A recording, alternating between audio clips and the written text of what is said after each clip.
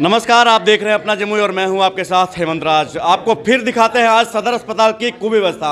आप देख सकते हैं हमारे साथ कि आधे घंटे से यहाँ पे पेशेंट जो है मजबूर होकर पड़ी हुई है, लेकिन यहाँ पे डॉक्टर की अनुपस्थिति के कारण वो मरने के कगार पे है, जिस पे, जिस कारण उसके परिजन यहाँ से पटना ले आने के तैयार है, लेकिन रेफर करने के लिए भी कोई डॉक्टर यहाँ पे मौजूद नहीं है। दिखाना चाहूँगा मैं आपको डॉक्टर की कुर्सी।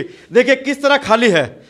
पिछले कई दिनों से, कई महीनों से लगातार मैं इस खबर को दिखा रहा हूँ, ना तो यहाँ के जिला प्रशासन को एक्शन लेते हैं, ना तो जिला अधिकारी कोई एक्शन लेते हैं। यहाँ पर डॉक्टर की कमी के कारण नवजात से लेकर के बूढ़े तक की यहाँ मृत्यु हो जाती है। आप देख सकते हैं हमारे पीछे जो है ये दो साल की बच्ची कुछ देर पहले इनको इनके परिजन लेकर आए थे और इनका कहना था कि ये छत पर से गिर गई, छोटा सा इंजरी है, फिर भी इनको देखने के लिए कोई डॉक्टर यहाँ मौजूद नहीं है। आप देख सकते हैं, जिस तरह भी थोड़ी देर पहले मैंने आपको दिखाया कि 12 से 14 साल की एक लड़की, जो सिर्फ़ एक छोटा सा हफ्सी का है इनको प्रॉब्लम ना तो इनको डॉक्टर कोई देख सकते हैं, ना तो यहाँ कोई चिकित्सक हैं इमरजेंसी में। पिछले एक घंटे से ये बिल्कुल बस से बदतर हालत होती जा रही है लेकिन डॉक्टर की अनुपस्थिति के कारण अब इनको यहाँ से बाहर लिया जा रहा है कि सदर अस्पताल में कोई भी डॉक्टर नहीं है।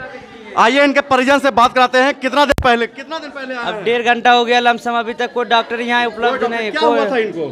कुछ नहीं सांस लेने का प्रॉब्लम है सिर्फ़ और कोई दिक्कत नहीं है। और कोई डॉक्टर नहीं है। कोई डॉक्टर नहीं है। एक घंटे से सिर्फ़ सांस का प्रॉब्लम है इस बच्ची को लेकिन डॉक्टर देखने के लिए तैयार नहीं है। क्या कहना चाहेंगे यहाँ के विधि व्यवस्था को देख विधि व्यवस्था एकदम यहाँ पर भ्रष्ट हो चुका है यहाँ हॉस्पिटल का।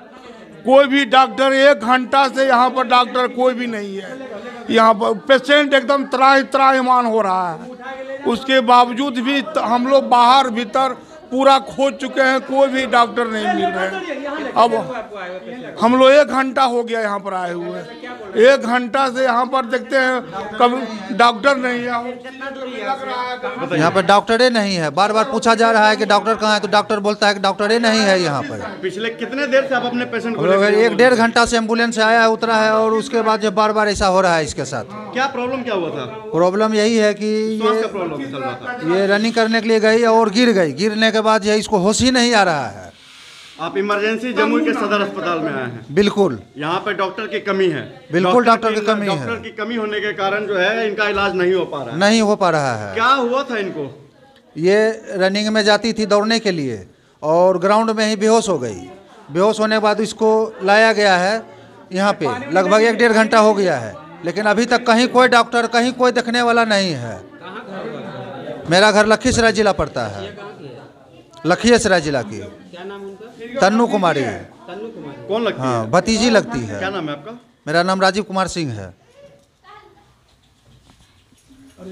तो जैसा कि देखा आपने यहाँ पर डॉक्टर की कमी के कारण लखीसराय से बहुत ही ज़्यादा आशा लगा करके पेशेंट के परिजन यहाँ आते हैं कि जम्मू सदर अस्पताल में चिकित्सक द्वारा इलाज होगी। लेकिन यहाँ भी इलाजरत और डॉक्टर की अनुपस्थिति के कारण यहाँ पे इलाज नहीं हुआ, जिस कारण वो अपने पेशेंट को, अपने मरीज़ को, उसके परिजन यहाँ से दूसरे डॉक्टर के पास शिफ्ट कर रहे हैं। आप देख सकते हैं हमारे पीछे जो है छोटा बच्चा, इसका भी इलाज नहीं हुआ है, जिसके कारण इसको भी बाहर ले जाया जा रहा है। ऐसे ही छोटी बड़ी खबर के साथ मेरे साथ बने रहिए। मैं हूँ हेमंत राज, अपना जम्मू से नमस्कार।